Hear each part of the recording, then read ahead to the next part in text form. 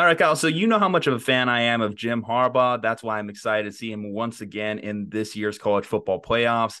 This year is the two seed, and going in is the favorite in their first round matchup against the TCU Horned Frogs. This year's Cinderella story, still from a Power Five conference, but we do know that the Big 12 is obviously diminished. TCU's been a great story in terms of uh, Max Duggan and Sonny Dykes in their first year together, putting it all together and uh, nearly going undefeated, falling just short of that in the Big 12 championship game. I'm glad the College Football Playoff Committee didn't punish them that for that, given that I think if they had a chance to do that over again, it would have been as simple as doing a quarterback sneak. Uh, TCU still number three seeds. Max Duggan still had an opportunity to go to the Heisman. If they would have won that game, who knows what could have happened between him and Caleb Williams? But mm-hmm. Max Duggan falling short too in the Heisman race. But will they fall short against the Michigan Wolverines? What do you think of this game? Well, it's super cool that TCU's here, uh, exhibiting the the standard fourth seed, uh, the team that we think of as always being the number four, whether it's an Oklahoma or a Cincinnati or a Notre Dame. That's kind of the role inhabited by TCU this year, which is a bunch of scrappy guys that have grinded it out and got an undefeated regular season, which, uh, by virtue of a bunch of other teams losing, like Tennessee and Clemson and Alabama, allows them to make the college football playoff as the number three seed. I forgot USC in there too. USC, I think if uh if USC had not shit the bed against Utah, TCU might have fallen to the four seed. But even still, uh, I think that TCU is kind of exhibiting that role this year, which is like you said, it's it's a fun story. It's a team that we can all get behind because they went undefeated in what has been one of the most chaotic Big 12s of any season yeah. in recent memory. I just think it's going to be interesting to watch them get into this matchup because Michigan has the superior talent advantage. Michigan has uh, the superior coaching advantage. It will be very interesting to see how TCU puts this game together, uh, given that, like you said, they they have been a fun story of Max Duggan throw chucking the ball all over the field, and uh, their psychedelic frog has been delivering them magic. TCU's offense, they like to get it done with explosive plays. They lead the nation in 50 plus yard plays. Uh, whereas Michigan, we know they're more of a grinded out team. They took a huge hit offensively with Blake Corum and his injury. Uh, Edwards has done just fine as their lead back and they have enough talent offensively to still generate a rushing attack. I don't think they're going to lose a step that way. And against this TCU defense, I don't think they're going to have much of an issue. If you look at TCU across the board, their defense is somewhere in the 50s, 60th ranked in the nation.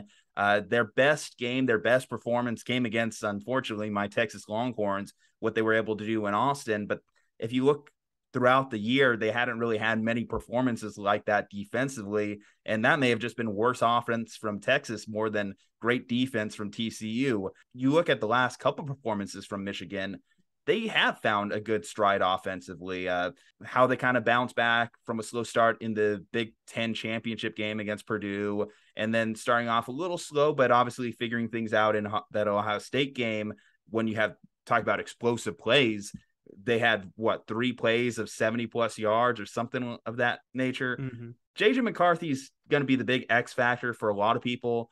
TCU has the advantage at quarterback. That's why I think that seven and a half for this game is not crazy. I don't think that this is David versus Goliath in terms of matchup between what I think of, like you mentioned, coaching advantage, Jim Harbaugh, and what I how bad I know TCU's defense is. I think Michigan is uh, going to be my pick ultimately in deciding this. I, I is there any other X factors I'm missing here that come to mind for you?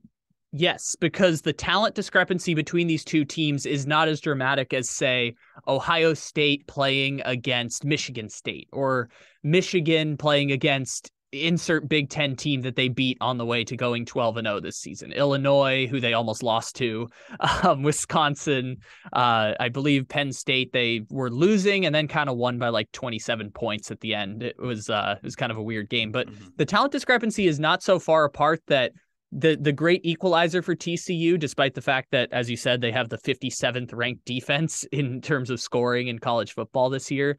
The great equalizer turnovers if TCU gets say plus two on the turnover margin, or if it doesn't go that way, getting a bunch of sacks on JJ McCarthy. Like I'm talking about like four or five types of sacks against JJ McCarthy. If you can get turnovers mm-hmm. and sacks and win that advantage, that's a great equalizer when you have a defense that is significantly below where this Michigan defense is, both in terms of production and in talent. So turnovers are are a big difference in the game. And if TCU is going to win, that which I think is actually a reasonable possibility, that's going to be part of the explanation as to why.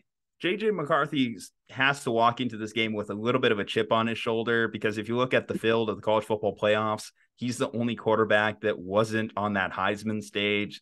Uh, Duggan, Stroud, Stetson Bennett, Stetson Bennett, all on that Heisman stage, and JJ McCarthy on the outside looking in with his running back Blake Corum. If he stayed healthy, probably having a much better case of being on that stage than him. JJ's been getting better as the season's progressed, but if I was him, I would go into this game and look at this as an opportunity to elevate himself of what people think about him. See step better than Cade McNamara. Uh, and last year's team that we saw what happened to that offense that crumbled in the college football playoffs when they went against Georgia. This is the opportunity to prove it. Obviously, is a better athlete than Cade was last year, and that's something that Michigan should be able to use to their advantage. Yeah, yeah. Like I said, I'm going Michigan. One thing I noticed in the Big 12 championship game is that the TCU offensive line wasn't able to really protect uh, Duggan. I think Michigan is still going to be is going to be able to take advantage of that in a similar way to Kansas State. And uh, contrary to that, the running game for Michigan, I still think is going to translate because what Deuce Vaughn was able to do for Kansas State, I think Edwards will be able to replicate that level of production in this matchup as well. Because Michigan has Edwards and because Michigan has a pretty healthy offensive line, I don't think the loss of Corum is actually as devastating as people are making it out to be. I think that he's the name that people recognize on that team other than McCarthy. And so I think people are making it out to be a bigger deal than it is. I don't actually think that it's going to be that significant of a problem for Michigan. It certainly doesn't help. You'd like to have Blake Corum. I'm not saying that it's like going to be no different, but it, it's not going to be a significant deterrent for Michigan. I am going to go with you on the Michigan pick, but damn it if I am not so tempted to pick TCU because I'm seeing it. I'm like, I can see the path to victory for TCU. I can see the game script working in their favor. And then I remind myself that a few years ago, I also picked the Packers to beat the 49ers in that NFC championship game that they got absolutely smoked in because I thought Allen Lazard was going to get 12 catches for 150 yards. So I'm going to take Michigan. All the probabilities are saying Michigan, but man, I'm so tempted to pick TCU. It's such a tempting upset pick. Uh, but I, am with you on the Wolverines getting the win. Jim wins the national championship this year. We're wearing khakis for a week.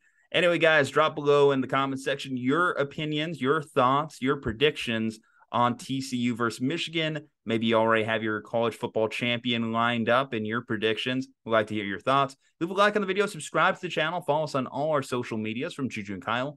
Stay safe, happy, and healthy. We'll see you next time.